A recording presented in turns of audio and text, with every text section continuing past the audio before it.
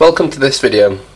So last week I did um, two experimentation videos and I come up with a new series name called Experiments or Experimentation or something like that, I don't know. Um, but this week I'm going to carry on with that series and I'm going to do another two videos probably or hopefully. And it's going to continue on from where we left off. So last week uh, I shown you how to power an LED which is very fundamental really for electronics. But I explained um, how it worked. I mean, why you had to have a resistor for an LED, uh, why we had to drop voltage, uh, how it worked, um, you know, in what proportions voltages are dropped, how that influenced uh, the amount of current which uh, flown through, um, and um, stuff about resistance. And today I'm going to carry on with that sort of line of thought. But this time I'm going to use a variable resistor and we'll see the differences. Hopefully I'll be able to explain them. So I need a variable resistor to start with. Now because this thing here is somewhere near 100 ohms, I need to find the resistor which has got a low um, ohm rating preferably and I'm, I do not know what I've got here. I mean 2k, maybe that's okay. So this is just a, a variable resistor, an old style one. 2k, that may do. What else? Preferably I need less than that, but we'll see. There's another 2k there. Another 2k. 100k, that's no good. What are these ones here? Probably 10k. Uh, this was probably maybe 5k. Won't go into that. 10k, 10k, um, don't know, probably 10k. Got various different resistors. What's this one? 2k. I've got a lot of 2k resistors. So the first thing I want to do is uh, test them out so I've got my voltmeter back, or actually my multimeter back, and I'm going to put it into ohms mode, and I'm going to connect two of the probes, and first of all we're just going to see if these work, and then I'll explain very basically how they work. So here I expect to see 2k or less. So let's make sure they work. So 0 ohms, it should go all the way up to 2. Let's see. Keep going down. There we go. So this one's actually more than 2k. So let's put that up to 20. Yeah. So this 2k resistor can actually go up to 2.31. All right. This next one. Yeah, 2.31. So you get the idea. Let's just dump some of those off. We only need one. So I've got my resistor, my variable resistor, and this is what we're going to work with um, today. So we're going to power an LED just as we did last time, but we're going to use this now instead of the other fixed resistor, and I'll hopefully be able to explain one or two things. Okay. So let's get started. First of all, the LED has an anode and a cathode. The anode is the longer lead, and the cathode is the shorter one. I'm going to push the LED in anywhere, like that, that will do. So I've got the anode on the top. Then I'm going to push the variable resistor in here, with the, of course, this pin here in the same um, track thing as the LED, so like that. And now I'm going to put the red wire in the same track thing as the anode of the LED, like that. And I'm going to put the blue one in the middle pin of the variable resistor. Then I'm going to turn the variable resistor right up so it should be 2k. Yep, it's full resistance. Let me just zoom out a bit. It's better, isn't it? Now, um, let's do some more experiments. So right now I've got my DC power supply set to 6 volts, right, and um, and I've got the, the two uh, wires ready. So I'm going to connect them up 6 volts, so make sure your variable resistor is set uh, right to maximum. Okay, and you'll notice that it glows, but it doesn't glow very much at all. You can see that it's pretty much dead. Right, so let's first of all find out what's going on here. So I'll just push this to a to the side and we'll find out what's going on. So as you may or may not have noticed, this is a different LED to the one that I used in the previous video. This is a yellow LED and it has different specs. So what are the specs of this one? Well, there's one called forward voltage, so forward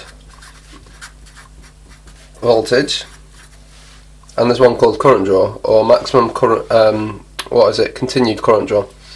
So the forward voltage for this one is 2.1 volts and the current current draw or continuous current draw is around 30 milliamps. Okay, now they're important because if you don't know the specs of your LED, then how do you know how to power it? I mean, generally speaking, they're all similar, but I mean, if I was to just assume that this could handle 3 volts, I'd probably kill it. But anyway, more about that in a minute. So we've got the basic um, uh, statistics or um, specifications now. So going back to the uh, experiment, just one second, let me just push this back in. You can see that it's extremely dull. Very, very dull. In fact, you can just see a tiny little uh, glow. You see it there? So if we just bring this back over here. So in the, well let's draw the triangle. You don't actually need a triangle of course, but it, I suppose it makes it a bit easier to learn and remember. So the voltage is 2.1 we know that the amount of amps is 0.03 amps. Okay, so that's milliamps and this is amps. So of course there are uh, 1000 milliamps in an amp, so it kind of works that way. So we want to know the resistance. So 2.1 divided by 0.03, um, I believe it's about it's 70. Uh, so 70 ohms.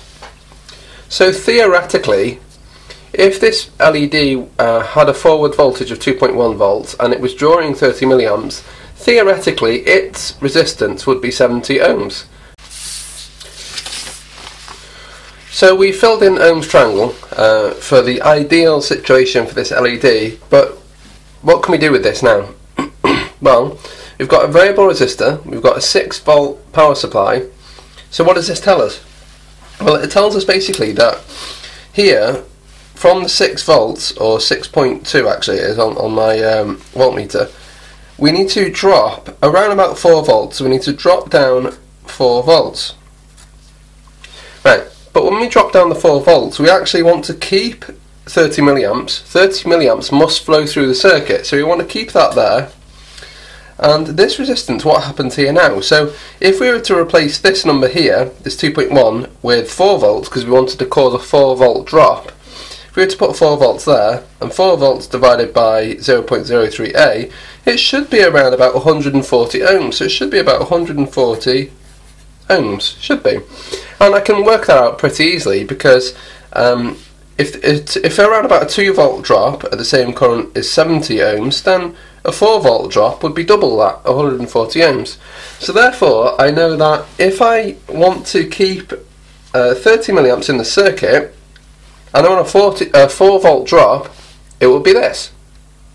So I'm going to show you. Uh, let me get this out of the way. So 140 ohms. So I'm going to get the uh, potentiometer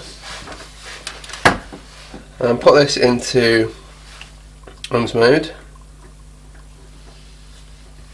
let's drop this uh, you can't quite see that I don't know maybe you can maybe you can't Let's drop this to 140. 140 ohms. Not gone too far there. 100. Okay, 138 ohms.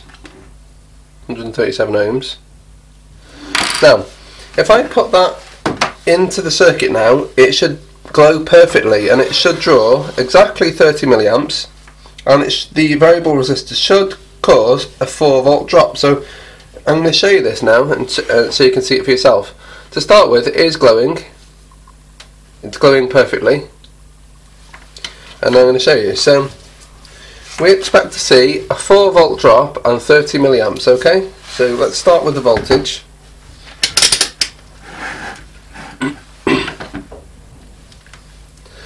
So on the LED, we expect to see around about a 2.1 volt drop.